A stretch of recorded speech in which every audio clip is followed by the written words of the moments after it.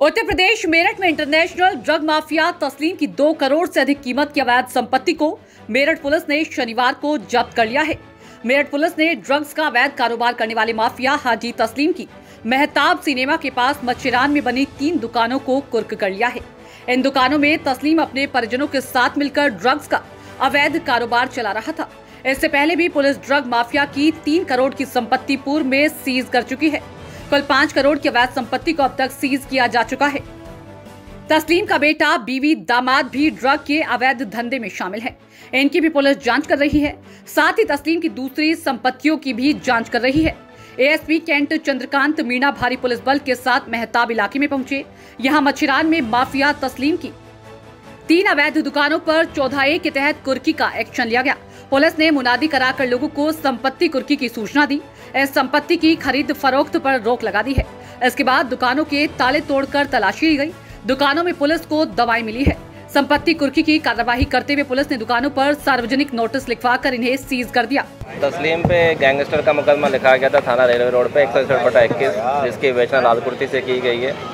उसके तहत ही गैंगस्टर में कुर्की की जा रही है। तीन दुकानें हैं। जिनकी वर्तमान में कीमत दो करोड़ से भी ज़्यादा है।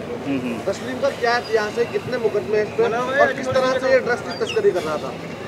इन पे पचास से भी ज़्यादा मुकदमे विभिन्न थानों में पंजीकृत हैं। एन डी पी एस के इनमें बहुत सारे मुकदमे हैं। ये अपने परिजनों के माध्यम से ड्रग्स जो है उसका काम करते थे और अभी वर्तमान में जेल में निरुद्ध हैं और चौदह के तहत में कार्रवाई करी जा रही है। सर जो विदेश से भी कनेक्शन जा रहा है? इसके लिए जो है संपर्क किया जा रहा है संबंधित विभाग से और जानकारी ली जा रही है। सर जो तस्लीम है उसके साथ साथ कितने परिजन अभी जेल में हैं? क्योंकि सब लोग सम्मिलित थे ये लोग रेलवे रोड पुलिस ने जेल भेजा। इनके पुत्र इनकी बीवी और इनके दामाद हैं वो सब संलिप्त हैं।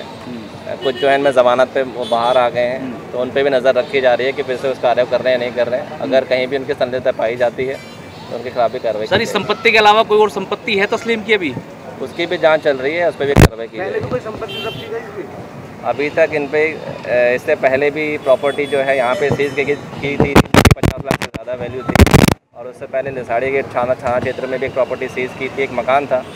जो ढाई सौ स्क्वायर यार्ड से ज़्यादा था जिसकी कीमत दो करोड़ से ऊपर थी कुल मिला के पाँच करोड़ की संपत्ति अब तक जब्त की जा चुकी है। अब तक तकरीबन तीन करोड़ की प्रॉपर्टी सीज हो चुकी है पहले से ही। और आज जो प्रॉपर्टी सीज कर रहे हैं वो दो करोड़ से ज़्यादा वैल्यू सर तस्लीम की तस्लीम के उन गुर्गों को भी खंगाला जा रहा है जो उसके साथ काम करते थे। जो भी इनके साथ में संलिप्त रहे हैं लोग अभी भी जो है ये सूचना मिली है कि जेल में रहते हुए भी ये अपना काम जो है जारी रखे हुए हैं तो इनके माध्यम से ये सब काम चल रहा है उस पर पुलिस काम कर रही है। ठीक है थैंक यू